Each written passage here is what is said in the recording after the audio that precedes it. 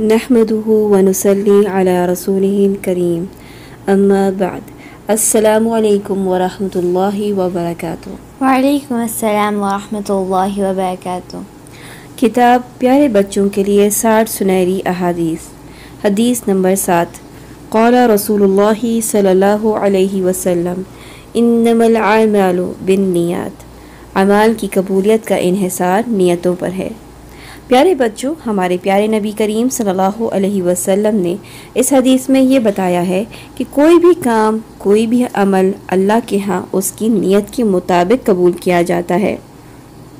नीयत किससे कहते हैं? नीयत किसी काम को करने से पहले दिल में उसका इरादा करना नीयत कहलाता है। आमाल किसे कहते हैं? अमाल ये लफ्ज़ अमल की जमा है और इससे मुराद रोज़मर्रा के वो काम हैं जो हम इरादतन करते हैं यानी नियत करके करते हैं। इसमें हमारे दीनी काम भी आ जाते हैं और दुनियावी काम भी। कबूलियत किसे कहते हैं? कबूलियत का लफ्ज़ कबूल से है जिसके मायने मंजूर करने के हैं यानी पसंद कर लेने के हैं। यहाँ कबूलियत का लफ्ज़ अल्लाह से मंसूब है कि क्या हमारा कोई भी अमल अल्लाह के पास कबूल होगा कि नहीं होगा? और हर अमल उस वक्त कबूल होगा जब हमारी नीयत सही होगी। अब अगर आप बहुत मेहनत से कोई काम करें और अल्लाह उस अमल को कबूल ना करे तो क्या आपको अच्छा लगेगा? बिल्कुल अच्छा नहीं लगेगा। लेकिन अल्लाह कबूल क्यों नहीं करेगा? इसकी वजह हमारी नीयत का दुरुस्त ना होना है।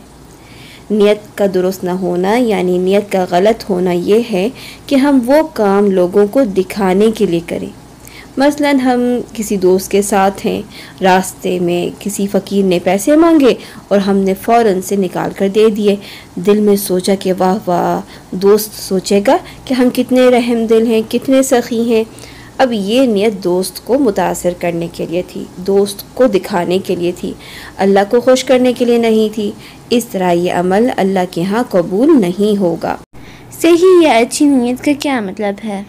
अच्छी नीयत का मतलब है कि जो भी काम करें जो भी इबादत करें नमाज़ हो रोज़ा हो ज़क़़त या सदका हो या कुर्बानी हो अल्लाह सुबहान व को खुश करने के लिए करें। इस काम में कोई दिखावा ना हो। अगर हम नियत करें और अमल ना कर सकें तो क्या हमें अजर मिलेगा? जी अल्हम्दुलिल्लाह।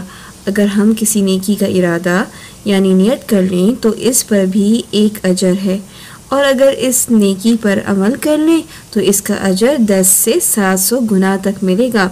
मसलन, अगर साद ने रात को पक्की नियत की कि वो सुबह उठकर किसी फ़कीर को खाना खिलाएगा तो उसे अपनी इस नियत का अजर उसी वक्त मिल गया। अब अगर सुबह उठकर उसने किसी फ़कीर को खाना खिला दिया तो उसका मुकम्मल अजर मिल गया। और अगर साथ कोई बु, बुराई का इरादा करे जैसे मैं आज बिल्ली को तंग करूँगा तो? तो अगर कोई किसी गुनाह का इरादा कर ले तो इसका गुनाह इस वक्त तक नहीं लिखा जाता जब तक उस पर वो अमल ना कर ले। और अगर वो गुनाह के इरादे को छोड़ दे तो उसे एक नेकी का अजर मिल गया। यानी साद ने बुराई का इरादा किया।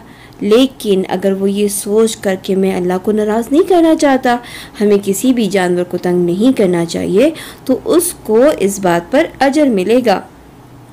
नीयत के बारे में मज़ीद समझाएँ। चलें एक हदीस से नीयत को मज़ीद समझते हैं। एक दफ़ा नबी करीम सल्लल्लाहु अलैहि वसल्लम और साहब कराम रदी अल्लाह आप जानती हैं साहबा किसको कहते हैं? जी। वो मुसलमान जिन्हें नबी करीम सल्लल्लाहु अलैहि वसल्लम को देखा और इस्लाम पर ही फौत हुए। जी, माशाल्लाह। तो एक दफ़ा नबी करीम सल्लल्लाहु अलैहि वसल्लम और साहब कराम रदी अल्लाह के सामने से एक तंदुरुस्त और तवाना आदमी गुज़रा। साहब कराम रदी अल्लाह ने अर्ज़ की कि अगर ये शख्स जिहाद करता तो इसको ज़्यादा अजर मिलता। इस पर रसूलुल्लाह सल्लल्लाहु अलैहि वसल्लम ने फरमाया कि अगर तो ये शख्स अपने बच्चों के लिए रोज़ी कमाने निकला है तो ये निकलना अल्लाह के रास्ते में ही निकलना है। यानी अगर इस शख्स की नीयत ये हुई कि अपने बच्चों को रिस्क हलाल खिलाऊँगा तो वो दुनिया का काम भी बायस अजर बन गया।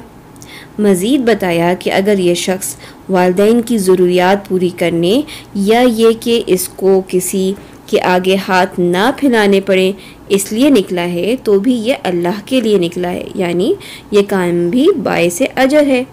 लेकिन अगर नीयत ये हुई कि दुनिया को दिखाना है और इस पर फ़ख्र गरूर करना है तो ये शख्स शैतान के रास्ते पर है। इसका मतलब है कि अगर हम नियत अल्लाह ताला के लिए कर लें तो रोज़मर्रा के कामों में भी अजर कमा सकते हैं। यानी वालिदैन की बात मानना, ये नियत करके कि मेरे रब का हुक्म है तो हमें इस पे अजर मिलेगा? जी बिल्कुल इन होमवर्क और रोज़ की पढ़ाई इसलिए करें कि इल्म हासिल करके रिस्क हलाल कमाएँगे और दीन को बेहतर समझेंगे। इस पे हमें अजर मिलेगा? जी बिल्कुल, इस पर हमें अजर मिलेगा। अगर हमारी किसी से लड़ाई हो जाए और हम इस नीयत से माफ़ कर दें कि माफ़ करने वाले को अल्लाह ताला पसंद करते हैं तो हमें इस पर भी अजर मिलेगा। जी बिल्कुल इस पर भी हमें अजर मिलेगा। दुनिया के हर अच्छे काम को अल्लाह ताला के लिए करने की नीयत से वो अमल बाय से अजर बन जाता है। आज के सबक में हमने सीखा हर अच्छे काम को खालिश अल्लाह के लिए करना है। जब नीयत अल्लाह के लिए होगी तो अजर मिलेगा नीयत दुरुस्त नहीं हुई तो इबादत या अमल कबूल नहीं होगा हदीथ नंबर सेवन